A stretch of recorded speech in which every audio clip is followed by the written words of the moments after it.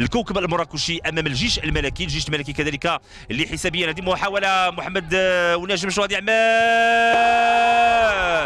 والهدف الأول لفائدة شباب أطلس خنيفره محمد ونجم أكيد نجم الفريق.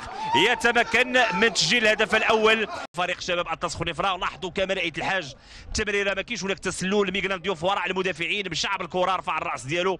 يعني ما زاد ما نقص مرر نحو اللاعب محمد ونجم لاعب كبير لاعب عنده إمكانيات كبيرة. وبالتالي آه، ممكن أن نتابعوا محمد ونجم النجم آه، ديال الدوري الاحترافي الموسم المقبل. كما قلت لأنه آه، لاحظوا مرة أخرى. ديمبيلي خدع الكرة رفع ال- الكرة.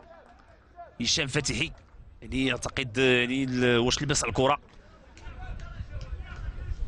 اعتقد لبس الكرة ب- يعني ال- وما نزلش ال- الايادي ف وهذا علاش علاش خنيفره محتل هاد هنا ضربة جزاء ضربة جزاء هي تسجيل اللاعب إسماعيل